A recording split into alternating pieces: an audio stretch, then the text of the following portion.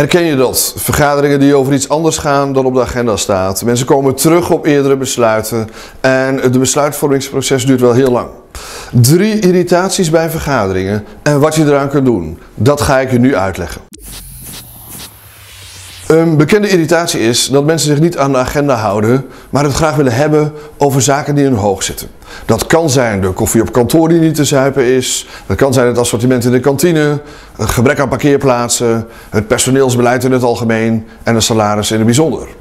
Allemaal punten waar mensen het graag over willen hebben, of het nu wel of niet op de agenda staat. Maar dat is niet de bedoeling. Wat kun je hier nu aan doen?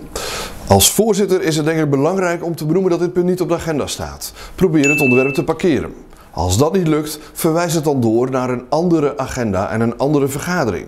Op deze manier voorkom je al een groot deel van de irritaties. Een andere bekende irritatie is dat mensen willen terugkomen op een besluit dat een vorige keer is genomen.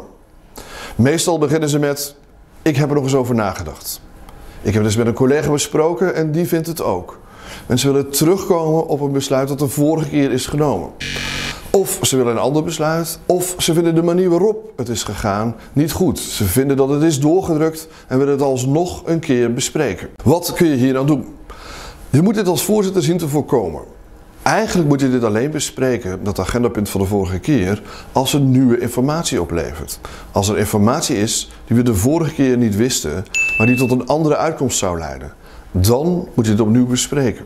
In alle andere gevallen wordt het een herhaling van zetten. Gaan al die argumenten nog eens gewisseld worden en levert dat eigenlijk heel weinig op.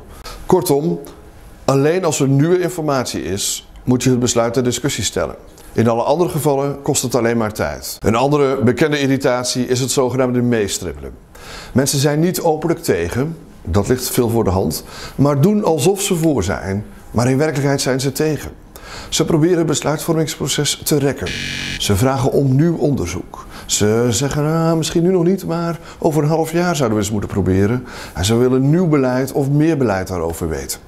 Hun uiteindelijke doel is het besluitvorming tegenhouden. En dat doen ze door die besluitvorming op te rekken, meer onderzoek te vragen, nieuwe informatie naar boven te halen, zonder dat dat eigenlijk hun standpunt gaat beïnvloeden. Wat kun je hier nu aan doen? Vraag door. Vraag naar de argumenten waarom ze tegen zijn. Benoem ook dat het lijkt alsof ze tijd aan het rekken zijn en vraag wat zou zo'n extra onderzoek nog kunnen opleveren. Als er geen duidelijk antwoord aan komt, dan zijn ze waarschijnlijk aan het meestribbelen. Ze mogen ook gewoon tegenstemmen als ze dat willen en benoem dat ook. Op deze manier voorkom je die irritatie. De drie belangrijkste irritaties en hoe je ze kunt voorkomen is het eerste, mensen beginnen over iets anders dan op de agenda staat.